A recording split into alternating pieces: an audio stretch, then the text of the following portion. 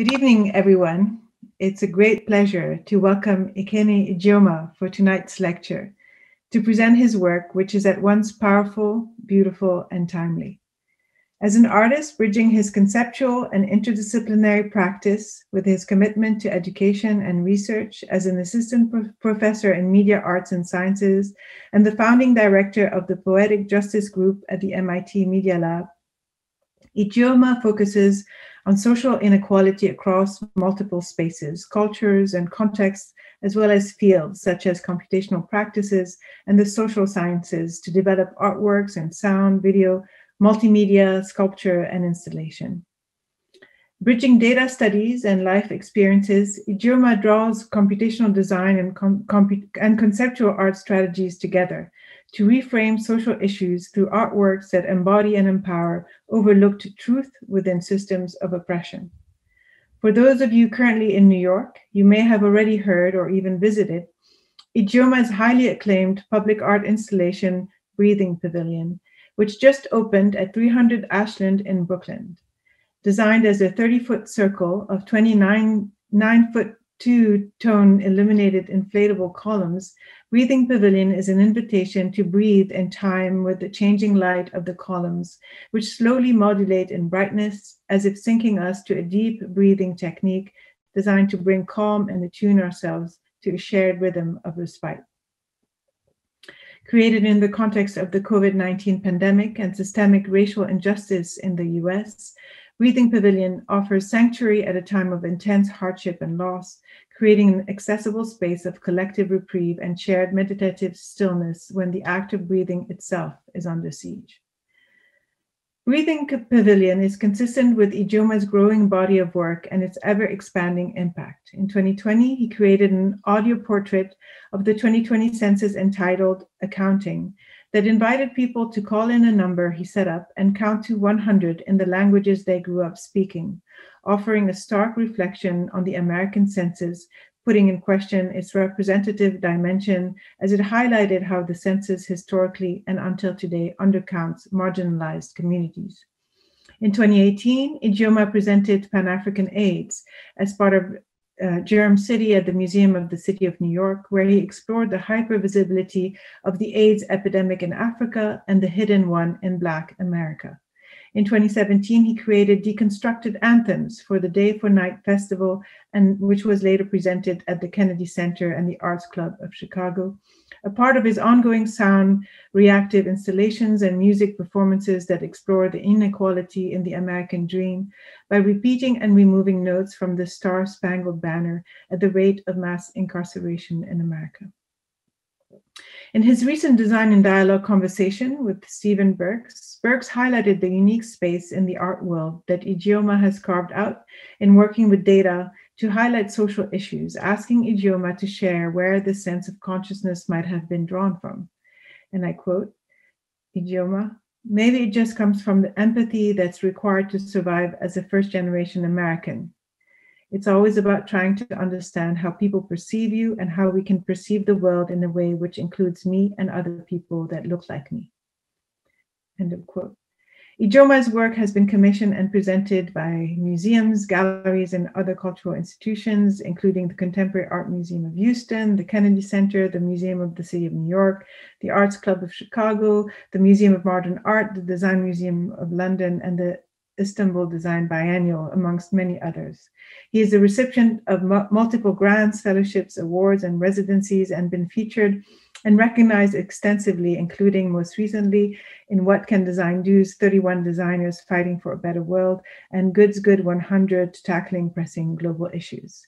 And I'm also thrilled to welcome this evening Amina Blacksher, another rising star who we are so lucky to have had teaching for us for GSAPP several years already.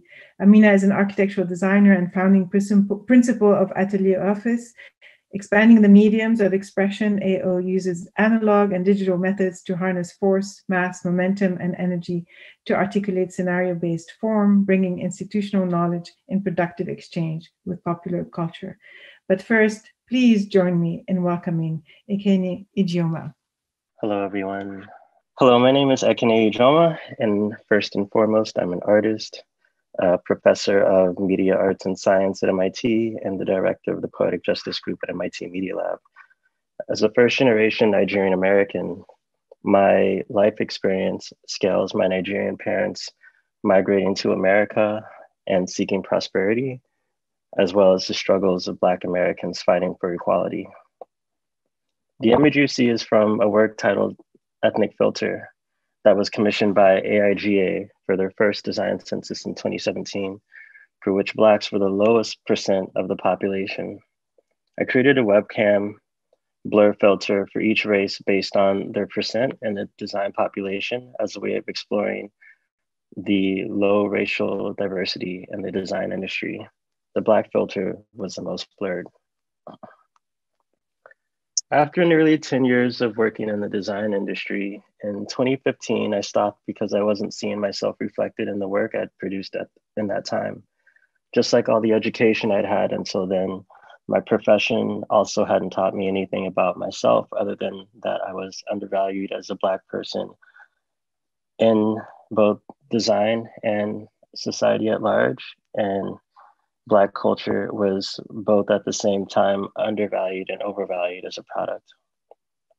So, in the last five years, um, decolonizing my practice has meant unlearning these values by transitioning to a social political conceptual art practice and producing projects that reflect me, my communities, and others across multiple mediums from sculpture and installation to sound and video. Um, but to do this, I've had to change the picture of, of my practice and start looking at people as citizens, not just consumers, technology as poetic, not just pragmatic, and art as a conversation piece, not just a masterpiece. One of the ways I started unlearning was by looking at data to understand the systems that affected myself and other marginalized groups. Um, this is an interactive map of refugee migration released by the UNHCR around 2012. In 2014, I collaborated with Hyperakt to create the Refugee Project, a website with an interactive map that shows the last 45 years or last 50 um, till now uh, of migrations by refugees, people who have been displaced from their countries because of war, persecution, or violence. At the time, the refugee crisis was mostly shown through photos of a few refugees from a few countries. I wanted to show how data could be used to look outside the frames of photography to see the millions of refugees from hundreds of countries around the world. The circles are sized by the number of people who originated from those countries. When users roll over the circles, lines radiate to where refugees found asylum. We also wrote over hundreds of stories about the social political events that caused some of the largest displacements. Um, and through data and stories, you could understand how wide spreading and long-standing the refugee crisis has been. Every year we update the stories and the data on June 20th, World Refugee Day. This project was game changing for me. Um, it was game changing for me to produce a work that was published in international publications, not just design and featured in exhibitions from MoMA to Istanbul Biennial, and not just on the internet. Furthermore, it was game changing to produce a work that expanded what graphic design or design in general could be used for through art. And in general, my practice has been one of expanding fields. But after doing this project, I felt using design to show data as truth wasn't enough.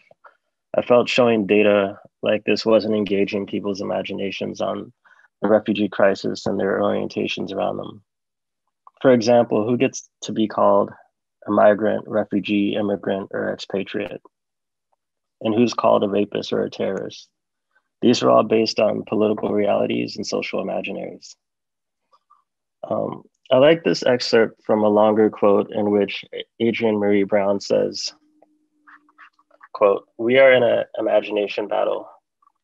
Trayvon Martin and Mike Brown and Renisha McBride and so many others are dead because in some white imagination, they were dangerous. And that imagination is so respected that those who kill based on an unimagined, sorry, based on an imagined radicalized fear of Black people are rarely held accountable. Imagination has people thinking they can go from being poor to a millionaire as part of a shared American dream. Imagination turns brown bombers into terrorists and white bombers into mentally ill victims. Imagination gives us borders, gives us superiority, gives us race, and an indicator of ability. I often feel I am trapped inside someone else's capability. I often feel I am trapped inside someone else's imagination, and I must engage my own imagination in order to break free. End quote. So to break people from their colonized imaginations, I knew I had to break free of pragmatic one-to-one visualizations of data as truth. And that's when I started exploring cultural materials uh, such as symbols.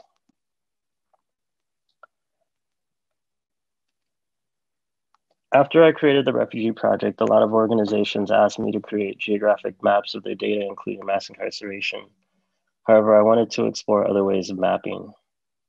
This is a bar chart showing an 800% increase in nat- national prisons in just 40 years. Black people are now 3.6 times more likely to be incarcerated in local jails nationally than white people. In 2017, I used data from the Vera Institute of Justice to create an ongoing series of jazz compositions and performances and light installations titled Deconstructed Anthems. I used the Star Spangled Banner as a symbol of the American dream and data on mass incarceration, which is the opposite, to create a sonic mapping. In the performance, the Star Spangled Banner is repeated multiple times, each time removing notes at the rate of mass incarceration and ending in silence. Here's a video uh, with the start and end of a performance uh, at the Kennedy Center in DC in 2018.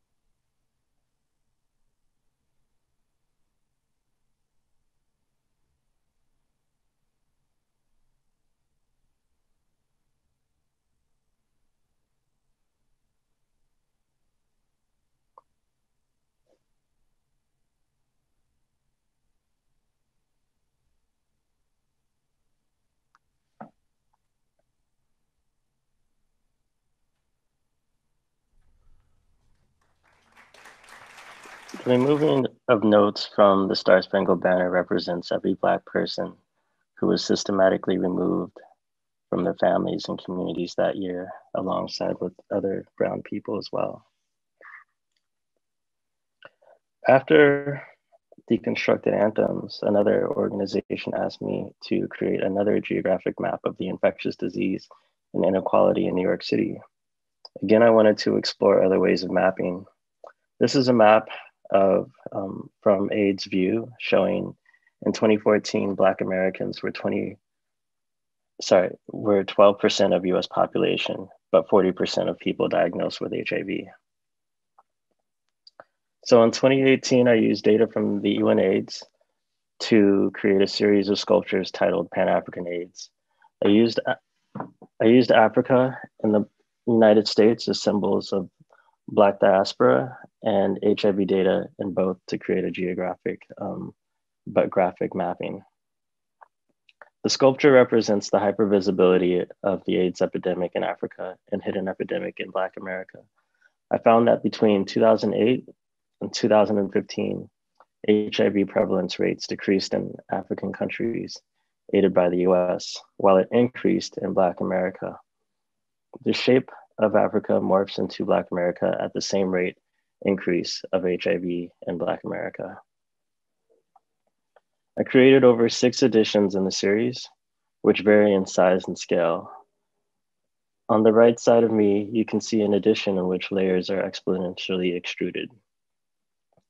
So refugee migration, mass incarceration, and HIV AIDS are all crises that are abstract both in the millions of people that have been affected by them and how those unaffected are connected to them. However, through materializing and sonifying their data, I hope these crises can be made more concrete and through manipulating universal, quote unquote, universal symbols, I hope people's imaginations can become more free from colonial imagination. After working as an independent artist for about five years, I was appointed as a professor at MIT and founded the research group titled Poetic Justice. I wanted to see if I could scale my art practice to that of the social issues my work engages with through working inside a larger institution. Some of you may know Poetic Justice as a film by John Singleton, starring Janet Jackson and Tupac.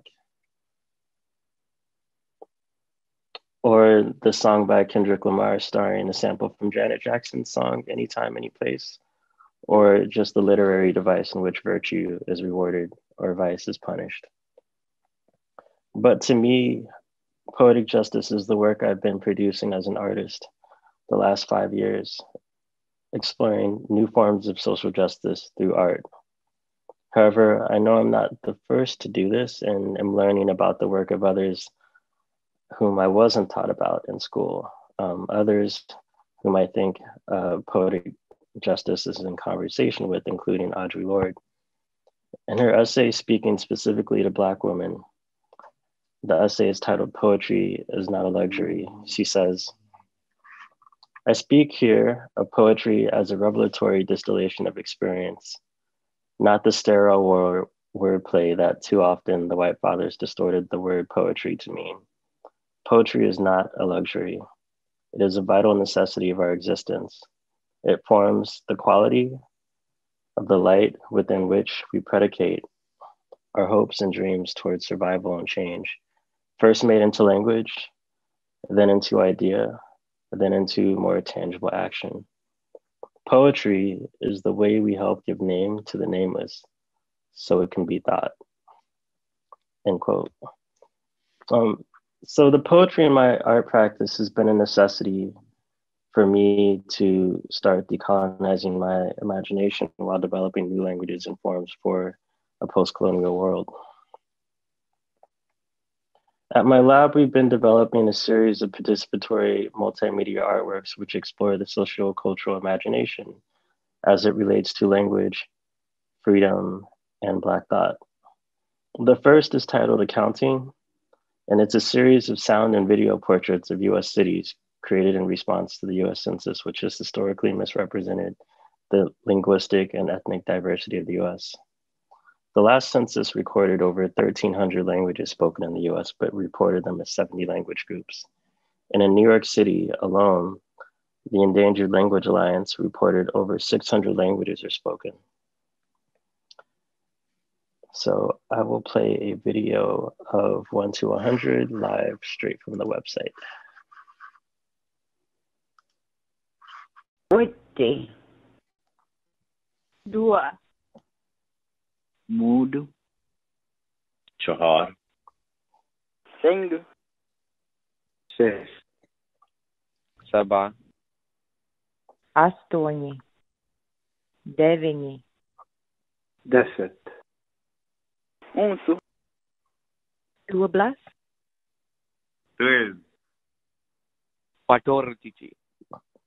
15 18 تيزان هيت 18 20 21 22 23 25 26 27 28 tjugonio, tio. Tiga puluh satu. Satus. Dreieinhalb. Thirty-four. Trentasei. Samsitzil. Achtunddreißig. Trivieterland. Kuranta. Arbaant. Тридесет. сорок три. FIFA. quarenta Kurantasi. Empat puluh tujuh. Dia bem-vindo. Deset devet. Quatsa. Limamput isa. Sinain u hamsin. Cinquenta tres. Cinquenta y cuatro. Five, five, sir. Fifty six. Pensa do Estado. Pensa dito. Number 10.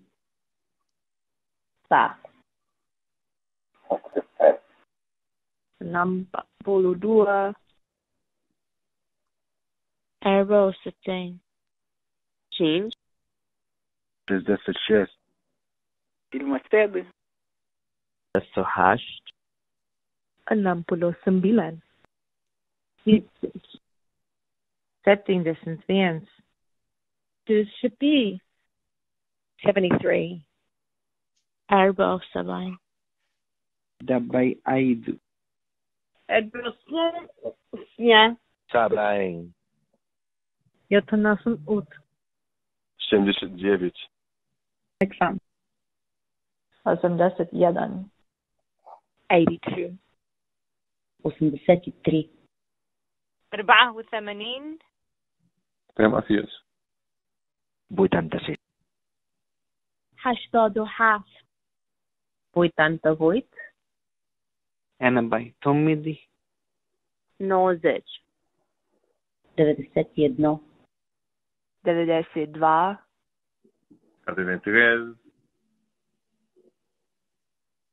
ninety five noventa e seis noventa e sete ninety staat. Nittioåtta. Roy.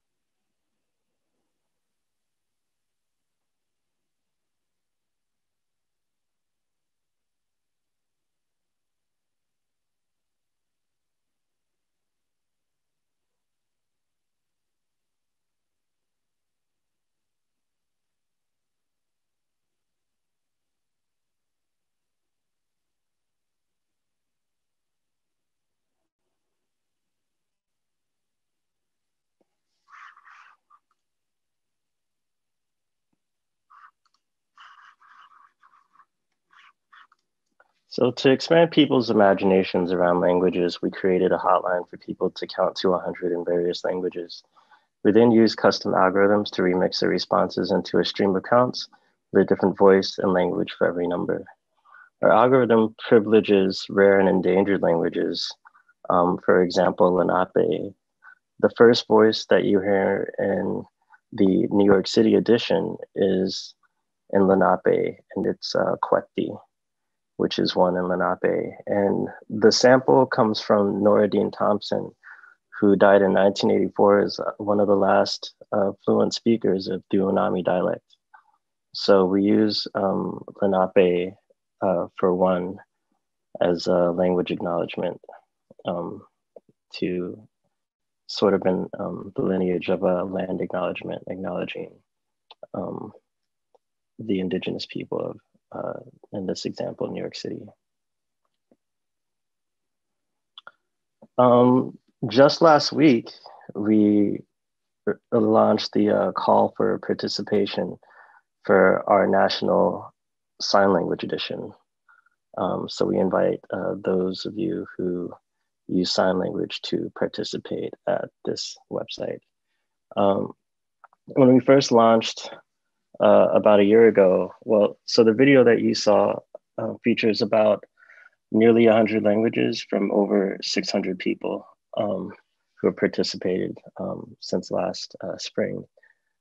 And uh, we did get a few calls uh, with people or just emails from people calling for uh, sign language to be included in the work. Um, so to make the work more inclusive and accessible, um, I decided that we would start last summer um, developing a sign language edition, and I'll just show a demo of what it'll look like.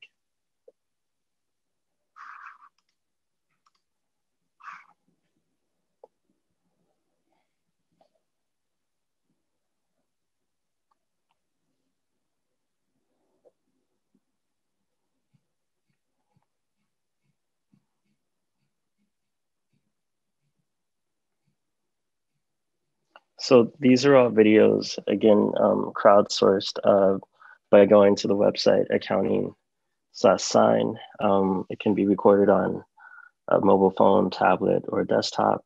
And we just started um, collecting those videos and we'll continue to collect them just like we're continuing to collect um, voice samples in different languages uh, from around uh, the US.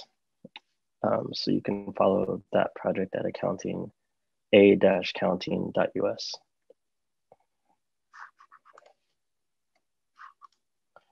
Um, the second work is titled Freedom Radio. It's a sound and video portrait of global freedom in response to the 30th anniversary of Nelson Mandela's freeing from prison. 27 years, I mean, 30th anniversary of Nelson Mandela's freeing from 27 years in prison. So nearly 30 years in prison. As Mandela said, the truth is that we are not yet free. We have merely achieved the freedom to be free. We have not taken the final step of our journey, but the first step on a longer and even more difficult road. And now the world is still at a start of that long walk to freedom. So, in partnership with the House of Mandela Family Foundation, we're starting a global conversation to expand people's imaginations around freedom.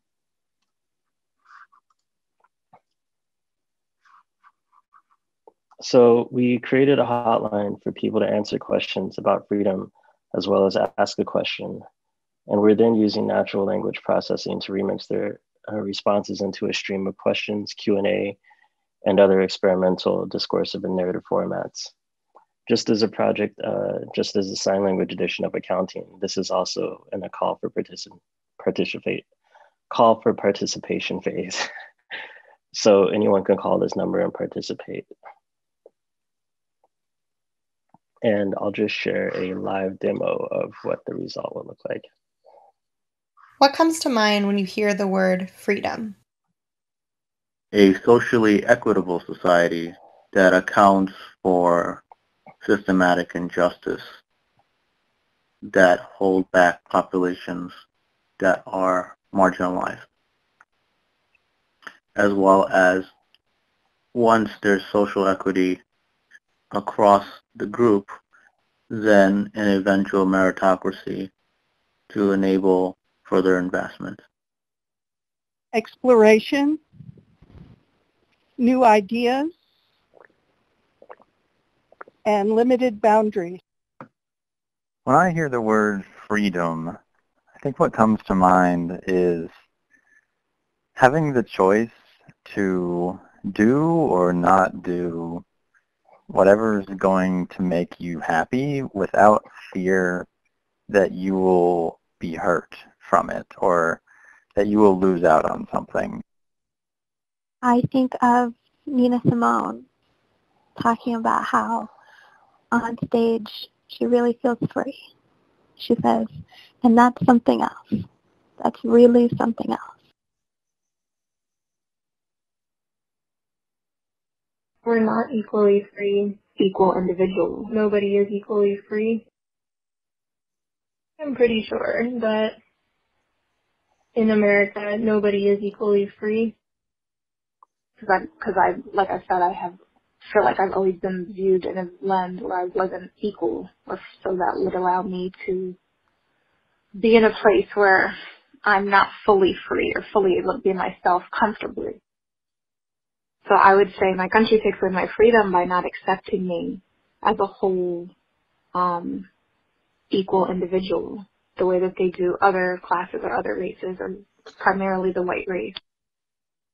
I don't think everyone in the country is equally free. You have people who have the ability through money or so on to do what it is that they want to do um, without having to worry so much about finances and other concerns that other people do. Do you have as much freedom as you want in your life? As much freedom as I would like in my life. Mm. I think freedom has to do with experience. It's also a growth process. Your imagination. Your freedom scope is your freedom scope. Only limited to your thoughts, physical situations, ideas, conversations. My instinct tells me to say no, I don't. So I'll just stop on that one. But as you can hear, the first one was a Q&A format, and the second one was responses relating to equal or equally. And then the third one was uh, samples in which people mentioned in my life. And so we have all these different patterns that we search for, and then we develop different, um, what I call um, discursive and narrative formats around them. And then the stream just keeps going, it just keeps generating um, different formats uh, on the fly. Um, so you could just keep watching that. And I'll just share one more project. So the last project was called uh, Real Talk Radio. Um, the last project, Freedom Radio, and this uh, project, Real Talk Radio, are both unreleased. Um, this actually isn't a real phone number. We haven't created a phone number for it yet. But all these projects that you've seen thus far are all public artworks. Um, they're available for free um, by just calling the hotlines. You can experience them both from the web or just by calling one of these hotlines. And Real Talk Radio um, is about expanding people's imaginations around Black thought. Um, so we created a hotline for people to listen to um, hundreds of, we have over 500 so far uh, YouTube source samples of intros, outros, and skits from songs within the Black music genre. And then we use algorithms to remix them into a random playlist while privileging uh, voices of women. So I'll just play a live demo of that. Maybe some explicit language. I don't know what we'll hear, but let's just see. It is with my deepest love and absolute respect that I give praise to my source of inspiration and light.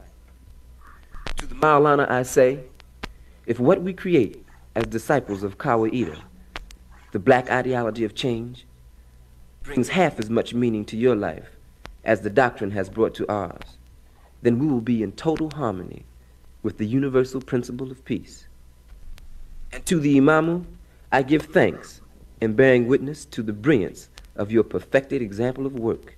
And I pray that the gift of positive circumstance allows all our beings to touch once again.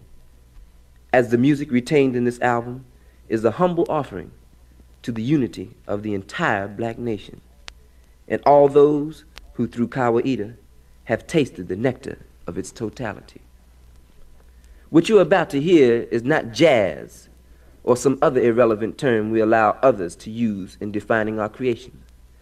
But the sounds which are about to saturate your being and sensitize your soul is the continuing process of nationalist consciousness manifesting its message within the context of one of our strongest natural resources, black music.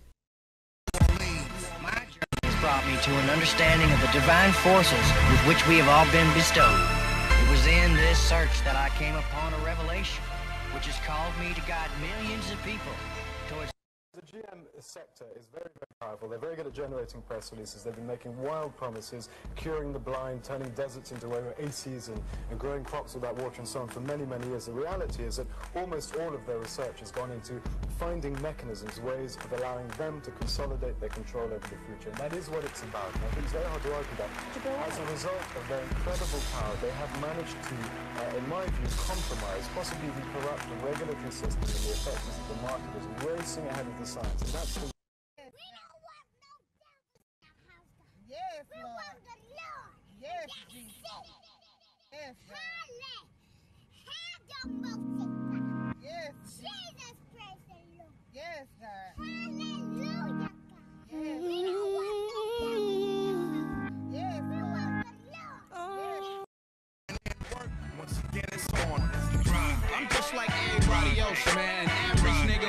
Average nigga with above average potential.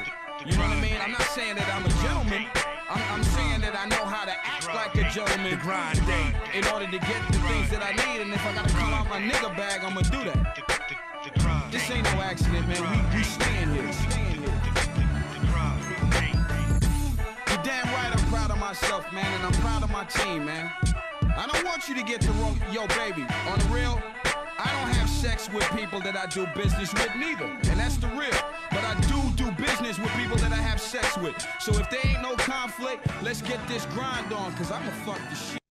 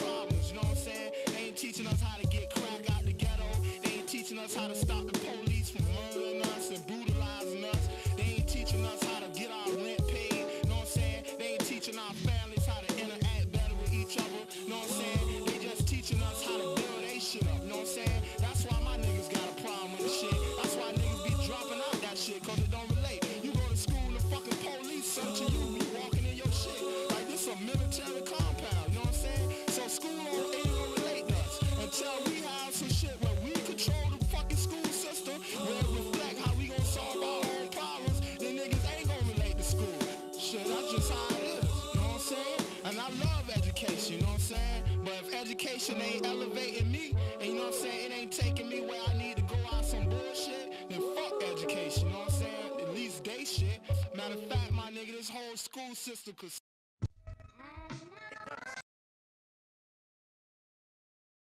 Um, yeah, but uh, in a way, Real Talk Radio, um, it's ode to Black music as its own form of knowledge. And uh, listening to it, um, I think I hear answers to questions that I didn't know I had. And hopefully, when we release it, uh, you do as well. Um, so the last thing, uh, you know, those are all public artworks that exist, you know, within the internet as a sort of public domain and also in the phone network as a public domain. But also, um, I do make works in public space. And uh, I want to invite everyone to who is in New York City to visit my new public outdoor light installation, the Breathing Pavilion um, at 300 Ashland in downtown Brooklyn.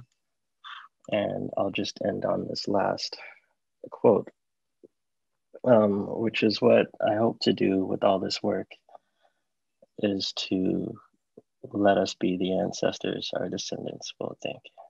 So on that, I'll just end with the contact and I look forward to hearing Amina's thoughts. thank you. My name is Amina Blacksher on behalf of the Dean of GSAPP. Thank you. Welcome. Thank you for an excellent lecture, just so provocative, touching on so many levels. Um, there's a lot. I appreciated your beginning with your parents coming over, that you're first generation Nigerian, and talking about them seeking prosperity and then you finding um, a fight for equality as your on the ground, um, what you were met with here. Um, there's many things I want to dive into, but first, um, just starting from your own path, I would love to unpack a little bit um, your idea of imagination as a tool, as a lifeline, uh, is really powerful. That uh, if you can imagine your existence, then you can exist, like that as a survival tool. Um, and so I think something that kind of gets overlooked when thinking about Black excellence is that it's not just the intense version of great. It's not just great times uh, uh, a magnitude. It's a will to survive. And I think what gets overlooked is the element of invention there. So I want to start with a question about your process uh, I'm so struck by that in all of your work, with your background in information technology, you've invented the medium that you work in. And I think we tend to look at the results and like be so taken and interact with the result. But I wonder if you can talk a little bit just first about your process, um, acknowledging that you're an inventor as well. I see you as an inventor. Um, do you sometimes start with the media that you know you're going to use, or does the content sort of um, begin the seed, or is there some other um, process? Oh, thanks. Um, yeah, I do think about, well, I have actually had to invent things to make uh, a lot of the work specifically deconstructed anthems. I mean, using the word like invention is funny, but it is an invention. I mean, I I created custom software to compose um, the composition. It's actually a generative composition, which means every time all the work I actually you saw today, except for my public artwork, sorry, all the work at Poetic Justice that we're doing, it's all generative work, which means every time you watch it, it's different and it evolves over time. So, a deconstructed anthem as a co- composition, I can generate multiple versions of that composition. So, each performance, it's been performed three times. Each one of those compositions were sheet music that was different from the other.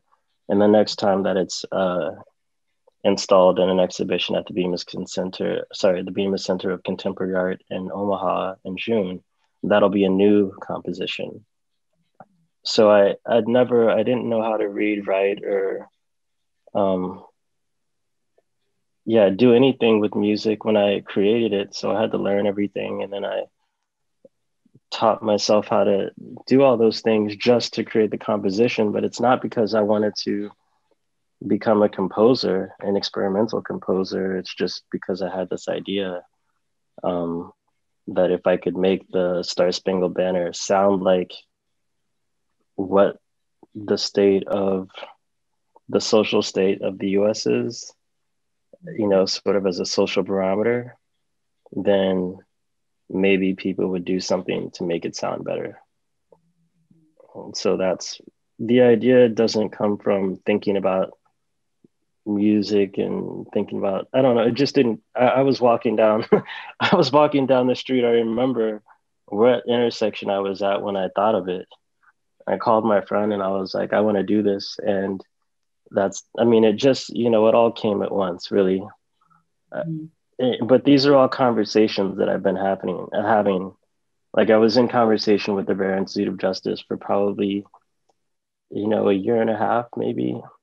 And so I just kept it in mind. You know, it's such the incarceration statistics are just so unbelievable. You know, it just has, you know, it, it goes past any imagination. I had to just keep thinking about it, meditating on it. And so I felt like I had a way of, you know, even just exploring that, you know. Um, I mean, I could I could process for each project is different. I mean, yeah, I have this seminar that I started. Um, you know, when when I started um, teaching at MIT, my course has been Black Mobility and Safety. Um, but when COVID started, I opened up the lecture part of the course, which we have guest lectures for every doing X while Black um, topic. So it's broken up into doing X while Black. We start from birthing and we end on loving, and we do six topics uh, a semester. So last semester, uh, it goes from birthing to sleeping, then uh, breathing, no, birthing, breathing, or I guess you have to, actually, yeah, it must be breathing and then sleeping because, you know, you got to breathe first, and then eating and then walking.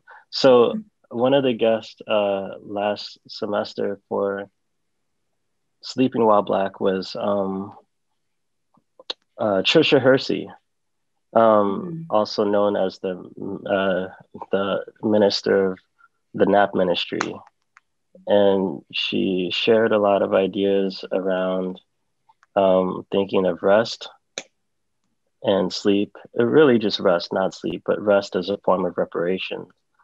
And so when I was thinking about what uh, you know the the commission for um, the breathing pavilion was really fast paced and a lot of my commissions have been fast paced where you know you have like three months to you know conceive and produce the work mm-hmm. so i was thinking i was like in october or late october um, you know when we didn't know you know who was going to win the elections we didn't know like if there was going to be a vaccine and we didn't know. Well i mean i knew that black lives matter was going to be ongoing but you know it was all those yeah. things throughout the summer all at the same time and i was thinking you know what type of work? What you know what type of work would i put in the space you know next year after all this is determined? You know mm-hmm. how can i imagine like what should be in the space. And I feel like actually she gives the example of like Harriet Tubman, like sort of dreaming, freedom dreaming. Mm-hmm. And just going to sleep and waking up with the answers to how to get free. So that's what I try to do with this, uh, with the breathing pavilion. It just came from thinking like, well, if we're here in this moment now, which we, which I didn't know I would be in, you know, when I thought about this project, it was that means like we're here. And the breathing is about mm-hmm. being present. It means that we're here now in this moment. And to breathe through that change that happened from, you know, where we were at in November to here and to, and to keep breathing. Mm-hmm. And so it's a different process every time, but that one was more like uh it just kept you know it just felt like that that's what uh, and I've been thinking about how to create spaces for relieving stress, alternative spaces for relieving stress, specifically in public space. Um, so yeah, that, it's it's different every time, but uh, I know a lot of people have known my work to come from data, but it's never the data itself. It's never the numbers itself. It's more like in that in context to you know what's happening in society and culture. Right. Yeah, I've heard you talk about. I appreciate the way you talk about your um, content as language. It doesn't even data is maybe a subset of that, but that you're um, you're coming up with language to express something. And um, so about language, and then also the way you use void. I want to um, unpack a little bit. There's a way in which your work delivers, um, thinking of the Star Spangled Banner piece, um, it makes accessible the feeling of the harm or the injustice that um, it it it makes it register on the inside, like in in your heart center or your in your body. And so I think that's a way in which some of your work is voluntary participation. You can step in. Um, and that piece, just seeing, especially the Lincoln Center performance of the crowd standing instinctively and sitting when they don't recognize the song anymore. Um, and I think that is such a powerful intervention at the like soul level because it engages people, it doesn't allow people who previously had the privilege to not feel, to maybe step over someone or step around or not see the, the pain that was happening to someone. The way in which you use void in that, in that scenario is like a loss. It's a felt loss that we don't have those notes. And I think the long pause at the end was just like really painful and um, registers. You have to feel that. So I wonder if you can talk about void as a medium, like in that scenario, it's silence, but I think you materialize void in other um, uh, aspects of your work. Yeah, I use I use silence a lot. I would call it not void, but and not even void because we use it as a way of holding space like when i yes. when i remove those notes like i'm holding space for those people or trying to you know trying to hold space for those people um, to exist mm-hmm. in that moment um, and i do it i've used silence a lot actually i mean even in the breathing pavilion it's all about silence but even if you listen if you actually go back and you listen uh, to A Counting a few times you'll notice that there are some numbers where you see the word but you don't hear a voice. And it happened when we were when we were uh, listening to A Counting just now. And those are um, you know numbers in a language for which we don't have recordings for. And so i wanted to hold space for that.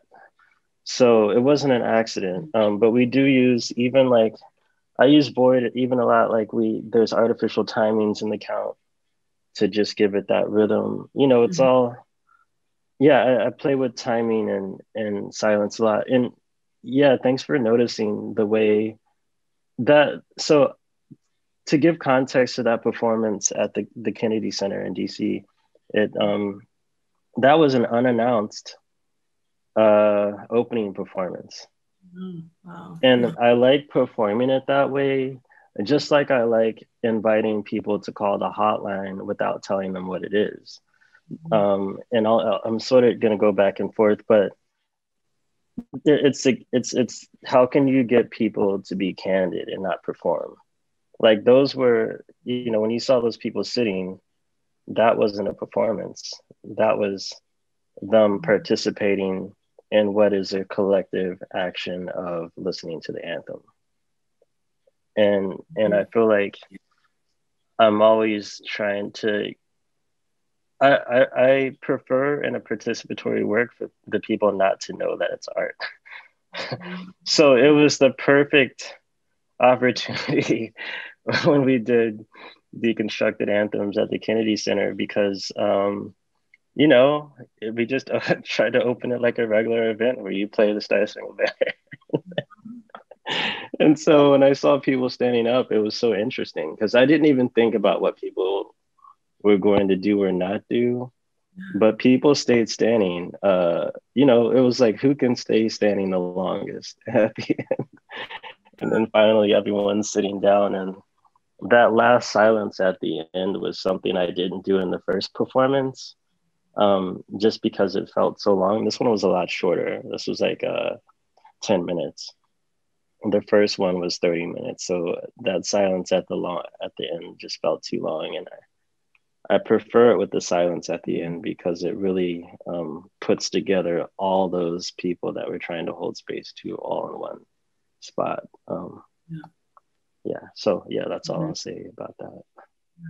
And then it's a way in that's that is like you own this. This is your silence. You can't ignore it. Um, I wonder at the way in which you time is also really stunning. Um, to jump out of sequence, but your current project, and I really can't wait to get there. Um, the breathing um, project in um, Ashland Place in Brooklyn. There's a way in which you're using synchronicity as a tool for um, un- uniting, like by being in unison in time, that's a segue into empathy. The, the way that if you're doing something with someone that you don't know at the same time, that connects you in the same way that you talk about energy and energy moves particles. So if you're doing the same thing, then you're connected. Um, and I've also heard you talk about scaling your practice. So this is just a out of the box question, but is it important in a project that uses synchronicity, like um, that people be aware of each other doing the same thing? Or could this be like thinking, okay, Ramadan is coming up, people all over the world are doing the same thing at the same time, and their actions are maybe reinforcing?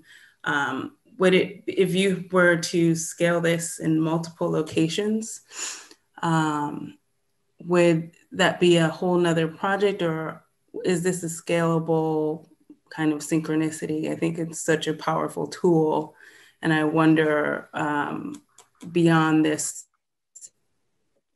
specific site, how you might think about how powerful a tool that is. Okay. Uh, well, first, love out of the box questions. I hope we're only doing out of the box questions. um, um,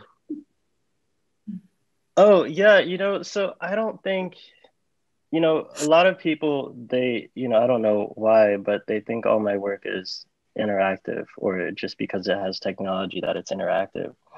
I think that uh, becomes a problem because they want to find ways of seeing themselves in the work mm-hmm. when this is trying to, uh, this is like about how you are in relationship to other people in that space and so a lot of people, you know, I mean, you can breathe with your mask on. They're like, oh, well, you know, I want to keep my mask on. I mean, more or less what they're saying is they want, I want other people to see me breathing. And the question is, do you need mm. some, do you need, like, can't you just imagine that everyone is breathing in sync with you? We're all looking at the same lights. Can you imagine that we're all in sync? Like with the counting, the space that we created in A Counting doesn't exist. There is no place in New York City that I know of where you can go and hear 600 languages spoken all at the same time. You know, there, there just isn't that space. The project is a speculation mm-hmm. on what that would sound like and, and eventually like what that could look like if, you know, we just saw sign language everywhere. It's just, what would it look like? Can you, you know, it's like, can you imagine these things? Like in A Counting i'm actually we're actually creating like the sound and the look. But in breathing pavilion it's really up to people to just um, be with themselves and together at the same time with other people um, and just know that those people are there and exist to just know that there are other things with you in that moment. So i don't know if it needs to be like an international thing but i do love rituals Mm. And I love when I see different um, people practicing the religion, just like dropping everything at that moment and just doing it. Like I, I, I really, really enjoy uh, seeing that happening, like on the streets of Brooklyn. Just people, wherever they are, just putting down, you know, whatever they need and and just doing that and praying. Mm-hmm. So, for me, this was like a breathing pavilion. Is like uh, a new ritual that I think is needed to navigate through these, you know, increasingly difficult times. Mm-hmm. Air is such a powerful medium that you use in that space. Um, I, uh, I okay, so I have another. The way that you talk about equal and equally is really compelling in that um, I think as you talked about unlearning um, the way that you were trained and um, that you didn't see yourself reflected and and so by necessity your work had to invent. And i think equity like becomes a it's just a stopping off point. It's not the end goal. It's if people can uh, if there's been superior and inferior you need to get to equity just as a kind of stopgap um, stopping the injustice. But that's not the end goal. And one of the voices in that piece said everyone experiences a different level of equal. Um, and and and i think that that's actually really gets to something that's true that we're not all equal. I mean we're all different. And i think ec- equality as a goal like in um, black civil rights context of we need to be acknowledged as equally valuable.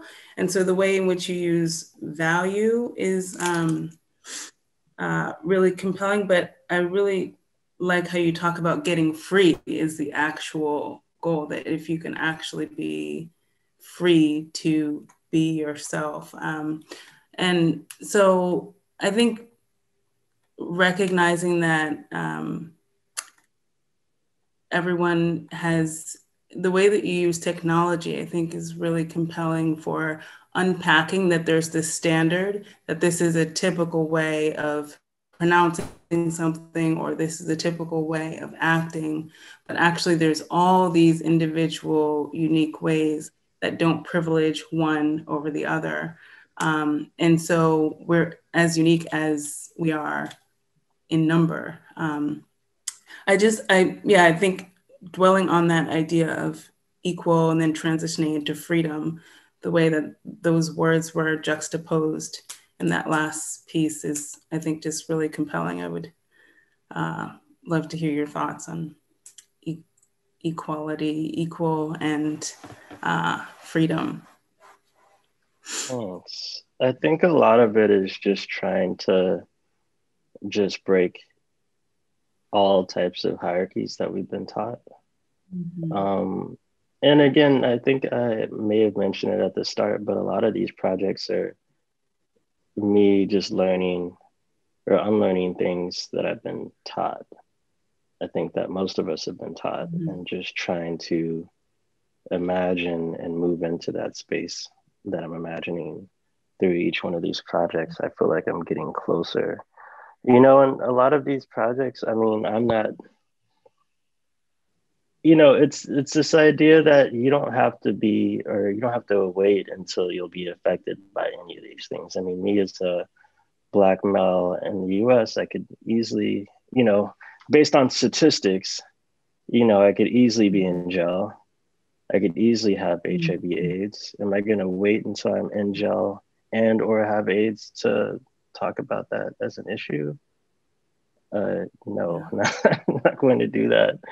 Um, I mean, we've seen many examples of how you can be, you know, the prime example, you know, the model minority and still be failed by the system. So I wouldn't really buy into that um, myth. Um, but yeah, inequity for me is just uh, being able to be different and respected at the same time. And that's what we're trying to create space for is I think you have to really like, you know, when you listen to A Counting, you may feel like someone that just moved here and doesn't speak English because everything just sounds different. And that's the same experience that someone that like myself listening to it may hear is I just feel like I'm everything's so different but then eventually i have to be okay with sitting in that space that feels different and just accepting it. Mm-hmm. i mean i've lived in other countries where i, I didn't like I, I lived in europe for two and a half years and i was definitely in spaces where i was overwhelmed with that.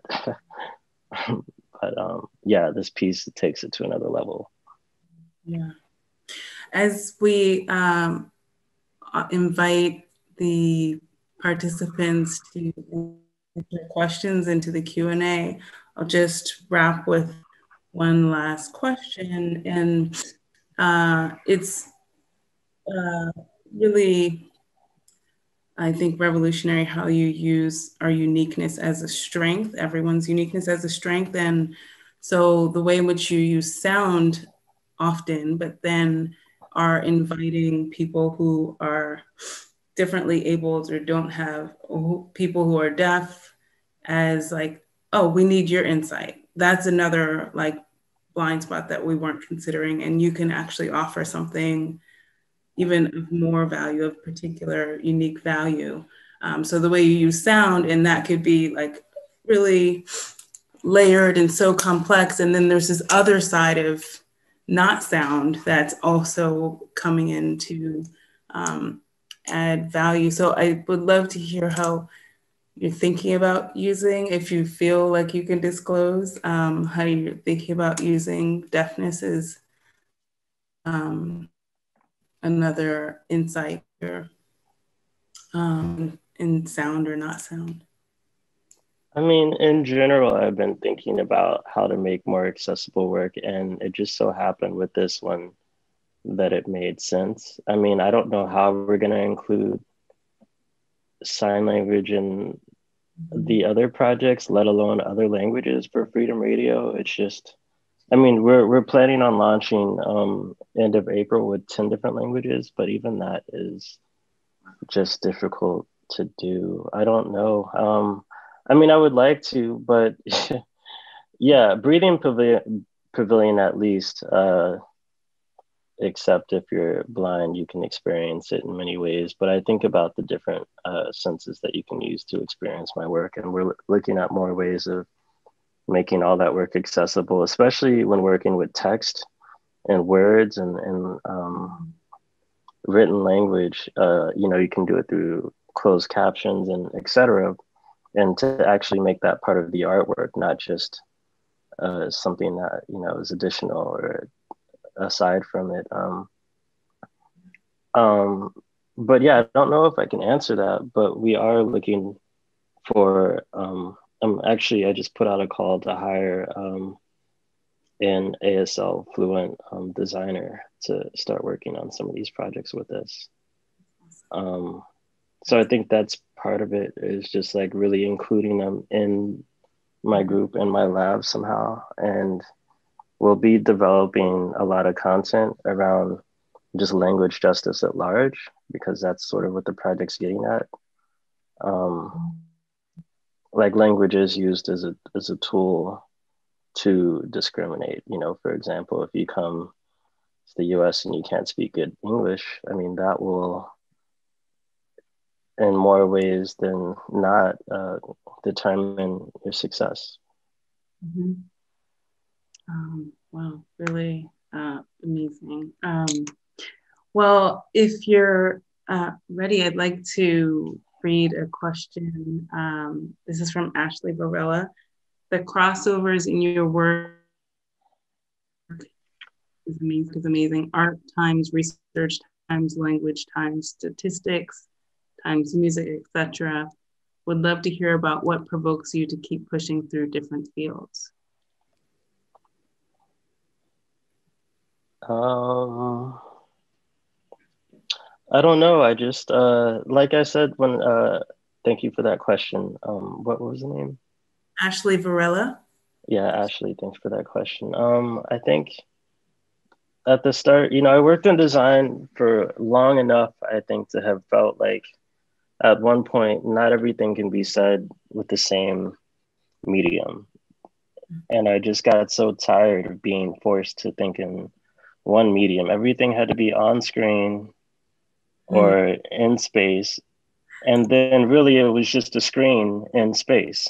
Mm-hmm. And, you know, I, that can't be it for the future that we're living in now.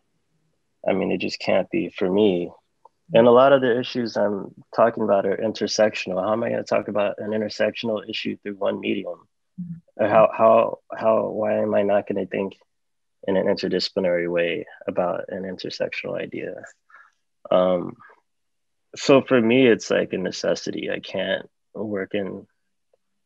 I'm really part of poetic justice is, or actually, you know, a large part of it is really finding the right mediums for uh, the message. Mm-hmm. And that's a lot of that's what a lot of the work goes into. Um, and I usually, yeah, that's like what I'm trying to get to all the time, and that's where most of the work is. That's where the poetry is, and sort of finding a, a, a medium for that message. Yeah. That's uh, really fascinating to think of you driving um, the, the technology that we use today. I've heard you say you use the tools of today to answer questions of today. And I think that really sets us up for new tools, new media that is hybrid or combination of so there's existing disciplines that you mix and then that creates a new um, media. Like I think by starting the senses, um, that's really exciting to see like the levels that you're inventing on. Um, oh, actually, yeah. now that you mentioned the census, I, I forgot to talk about the sort of it's in, in some way it's like a source material for freedom radio so when you call the hotline, so we have 10 questions, but we source these 10 questions from my English as a second language, language uh, oh. um, uh, what is it, like a form. Okay. Every single question on this form of 10 questions, you're learning English as a second language. All these questions are about freedom. Mm-hmm. And so, in a way, English is supposed to be a way into this, you know, thing that is supposed to be freedom. And I just find that so interesting. yeah.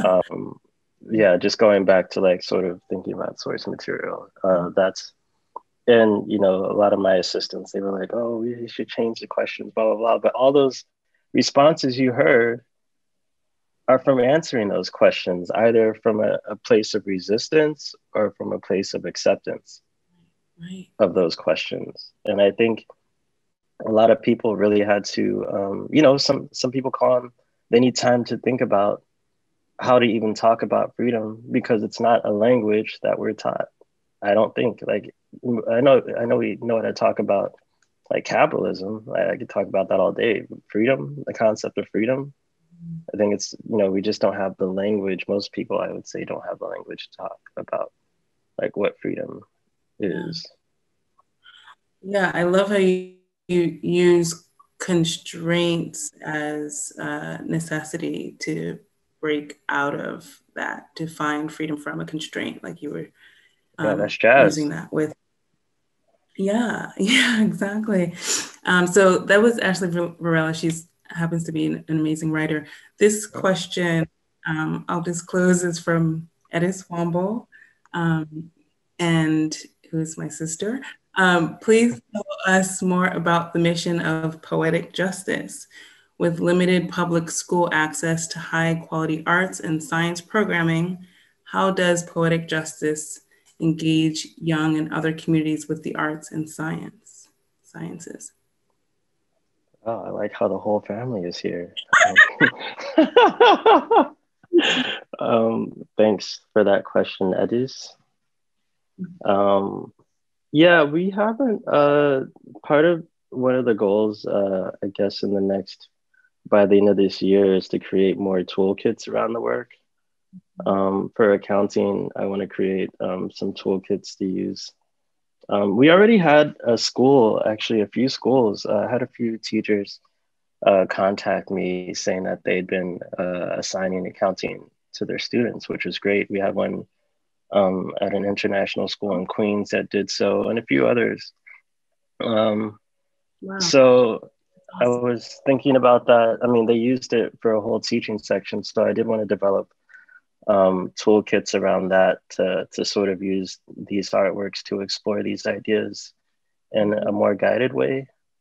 Um, so yeah, to develop toolkits for um, A Counting and also Freedom Radio and eventually uh, maybe Real Talk Radio as well.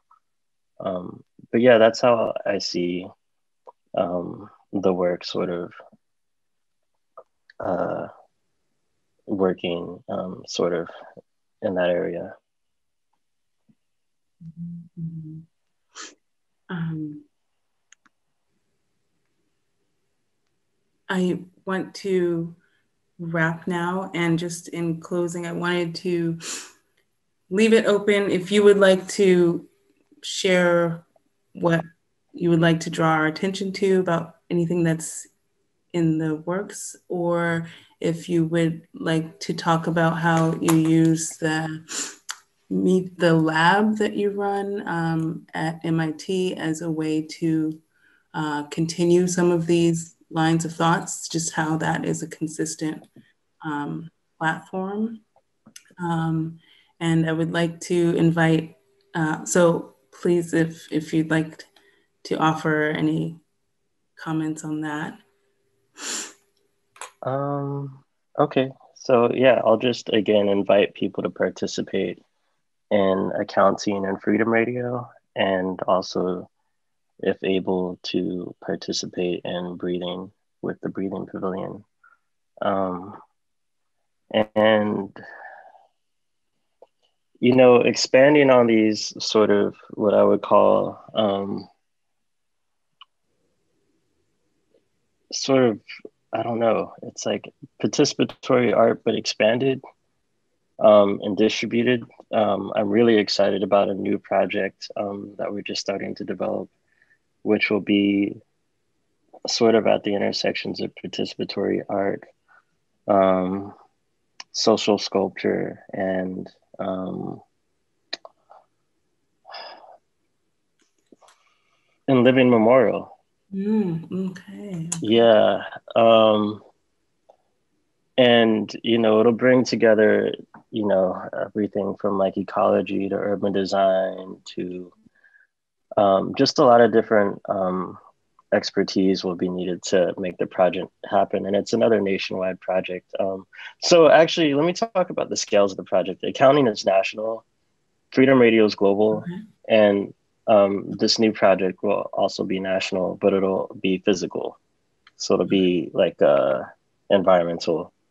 Um, and yeah, to make all these projects happening, we're always looking for um, people who are interested in joining us, either as uh, team members or collaborators or etc. So feel free to contact us if any of this work interests you.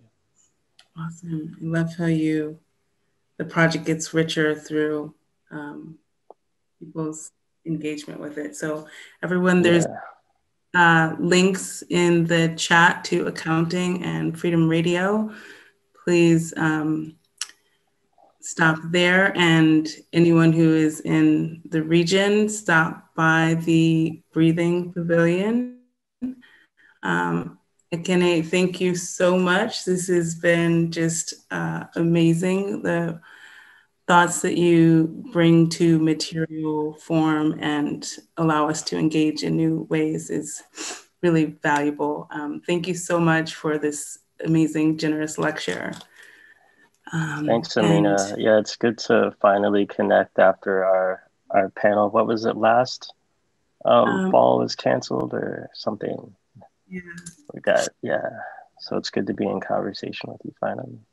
Thank you. It's great to have you. This is a big highlight for us at GSAPP and really enjoyed our conversation to talk about your work.